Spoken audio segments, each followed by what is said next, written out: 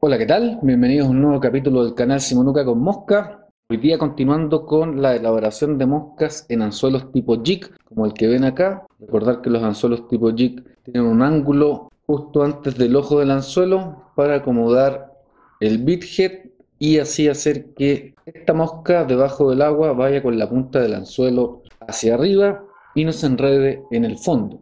Así como se pueden hacer moscas tipo perdigón para hacer pesca europea o española. También se pueden hacer moscas normales. Y dado que van al revés en el agua, voy a enseñarles a hacer una variación de la peasant tail. La peasant tail es la mosca que siempre uso en todos lados y siempre me va bien, por eso la ato bastante. Los materiales que se utilizan son los mismos de siempre, salvo algunas variaciones. Para atar la peasant tail estoy utilizando un thread Unicred 06, color café oscuro. Obviamente una pluma de cola de faisán, puede ser teñida o no, en este caso es natural. Y se necesitan para el collar o el abdomen pelos de pavo real, plumas de pavo real, pueden ser las que vienen así llegar y usar o si tienen un ojo también pueden usar las del ojo para hacer collar del abdomen o algo sintético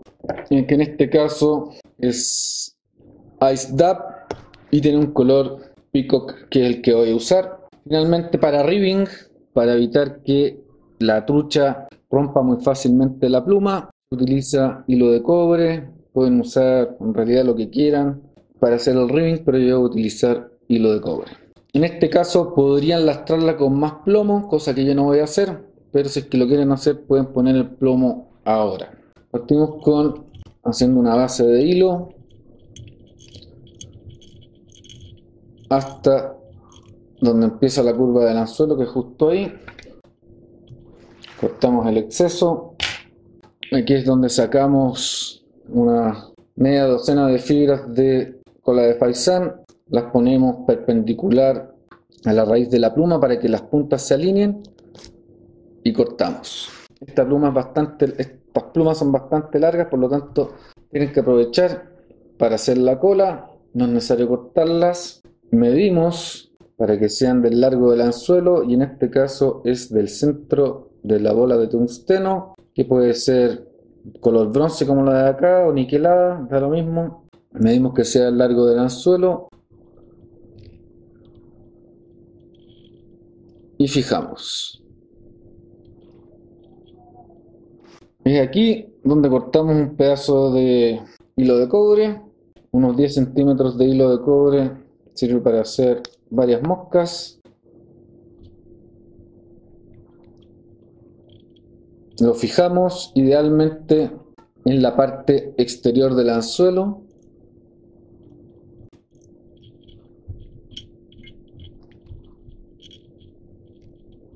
Como estas moscas pequeñas me voy a devolver con esto hacia atrás.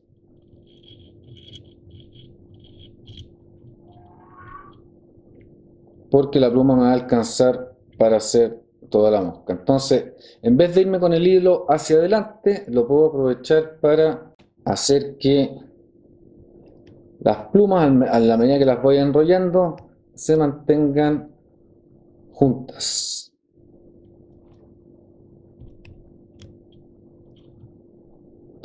Cada vez que doy una vuelta para evitar que se me desenrolle, afirmo con mi dedo por la espalda del anzuelo y así sigo avanzando.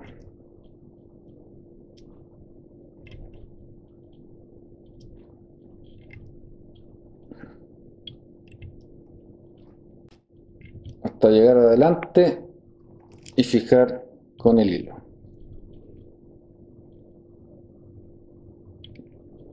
Doy un par de vueltas y corto el exceso. Aquí hago un nudo para aprovechar la pinza rotatoria y en este caso el hilo de cobre en vez de enrollarlo en la misma dirección lo enrollo en la dirección contraria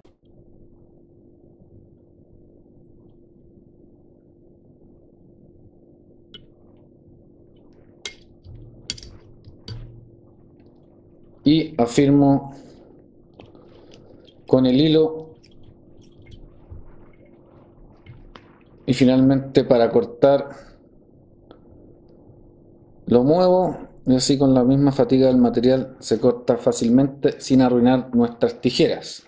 Y aquí en donde para el tórax pueden usar plumas de pavo real o el sintético. En este caso voy a usar el sintético. Para este tamaño, este tamaño de anzuelo es un 14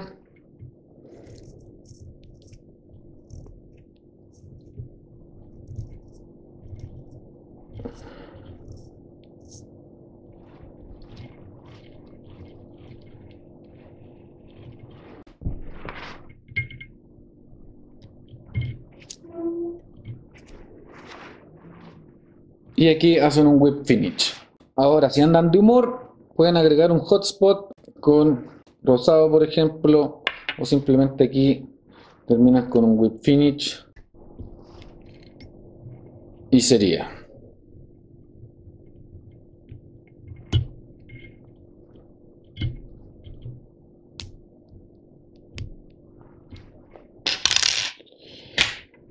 Comentarles que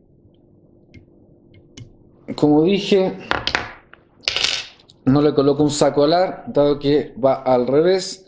Ahora si quieren, debajo del agua, ahora si quieren colocar un saco alar, también lo pueden hacer como si fuera una peasant tail normal. Video rápido, sencillo, se pesca como normalmente pescaría en una ninfa, adherida libre, con la ventaja agregada que en este caso, si toca fondo, el anzuelo no va a atraparse en las algas, porque va de esta forma debajo del agua. Espero que este video les haya gustado. Si les gustó, denle like, compártalo con sus amigos. No olviden de suscribirse al canal y como siempre, nos veremos en una próxima oportunidad.